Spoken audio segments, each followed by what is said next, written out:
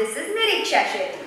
This is our first YouTube channel and it's going to be all about fashion, fashion and fashion. You guys must be wondering what's our relationship status. Yes, we are committed. Yes, but to our husbands. She's my sister-in-law, she's an engineer. And she's an HR by profession.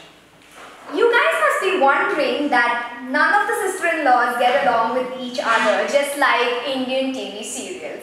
But here the scenario is totally different. Our bond is really strong. Now that you should know more about us, I would say one good thing about Appi is that she's my support system when I fight with my husband.